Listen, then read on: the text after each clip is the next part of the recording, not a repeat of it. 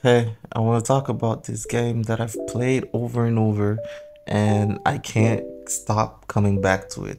I can do many days without coming back to it, but it always catches back my glimpse, even if there's not no new character or anything like that. What I do love about the game is how it's created and how you can have an open world and a mobile game. And for me, this is one of the one of the successful open world games that you got. Even though it's gacha, it is a nice open world game.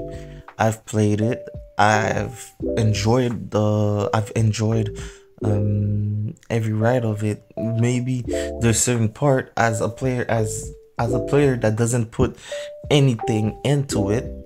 I don't put I really don't put anything into it. I'm gonna tell you it's fairly decent to play and after you understand how the comments work, how everything work, it's enjoyable. So I wanted to make a little B-roll videos on Genshin Impact. Tell me what you think.